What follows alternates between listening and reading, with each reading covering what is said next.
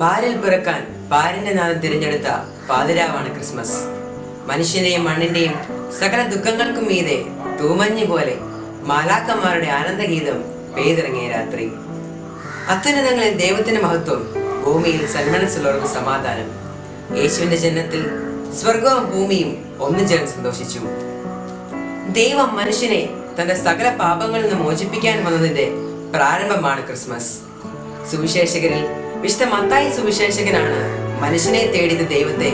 തന്റെ സുവിശേഷം ഒന്നാം അധ്യായം ഇരുപത്തിമൂന്നാം ഭാഗത്തിലൂടെ ലോകത്തിന് മുമ്പിൽ കാണിക്കുന്നത്. ദൈവം നമ്മോട് കൂടെ എന്നർത്ഥമുള്ള എമ്മാനുവേൽ എന്നവൻ വിളിക്കപ്പെടും.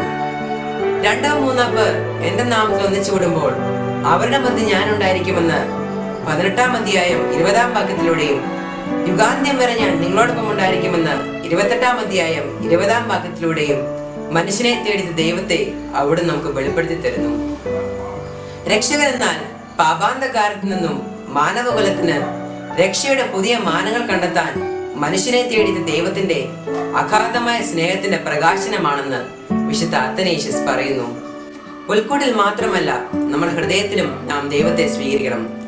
Before you celebrate Christmas a news from Bethlehem that child Jesus is found missing Everybody is in search of child Jesus. He is not in Jerusalem, not in Judea, and not in Nazareth. He may live in our heart. His answer is yes. അതെ അവൻ പിറന്നത് ബദലേമിലാണ് അപ്പത്തിന്റെ ഭവനം എന്നർത്ഥമുള്ള ബദലേമിൽ യഥാർത്ഥ അപ്പമാകേണ്ടത് തിരുസഭയാണ് വിശുദ്ധ കുർബാനയുള്ള ഏതൊരു ദേവാലയവും ബേദലയും അഥവാ അപ്പത്തിന്റെ ഭവനമാണ് ഓരോ വിശുദ്ധ കുർബാനയിലൂടെയും മനുഷ്യനെ തേടി ദൈവം എത്തുന്നു. ഓരോ വിശുദ്ധ കുർബാന സ്വീകരണത്തിലൂടെയും നാം അവനെ ഹൃദയത്തിൽ സ്വീകരിക്കുന്നു. അതുകൊണ്ട് ഓരോ വിശുദ്ധ കുർബാനയും ഓരോ പുതിയ ക്രിസ്മസ് ആയി തീരട്ടെ എന്ന് പ്രാർത്ഥിച്ചുകൊണ്ട് ഏവർക്കും തിരുപ്പിറവിയുടെ മംഗളങ്ങൾ ആശംസിച്ചുകൊള്ളുന്നു.